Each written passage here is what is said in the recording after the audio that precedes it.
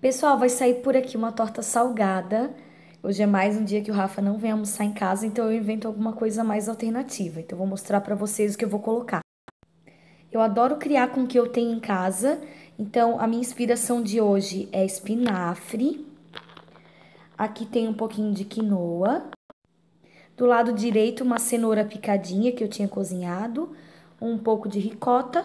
E esse monte de abóbora aqui, eu vou explicar para vocês porque tá eu lavei bem a casca dela e cozinhei e fiz um purê para Elisa. Só que essa aqui, mais próxima à casca, ela é um pouco mais firme.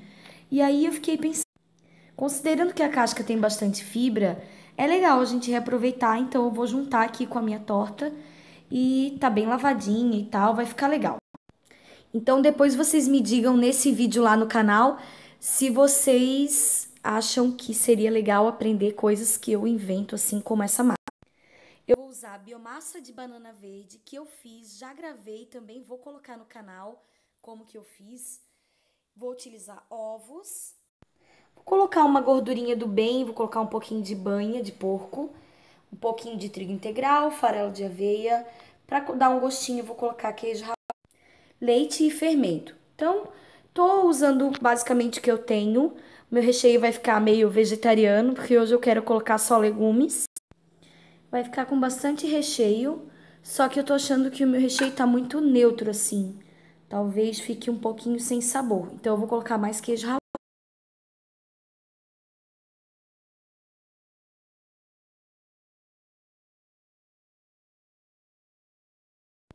Só espalhei a parte de cima com a colher.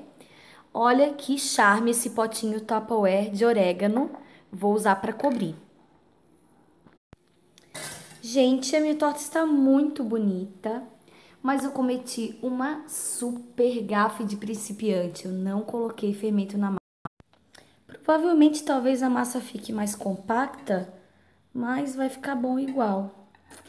Vou mostrar para vocês como que ficou por dentro.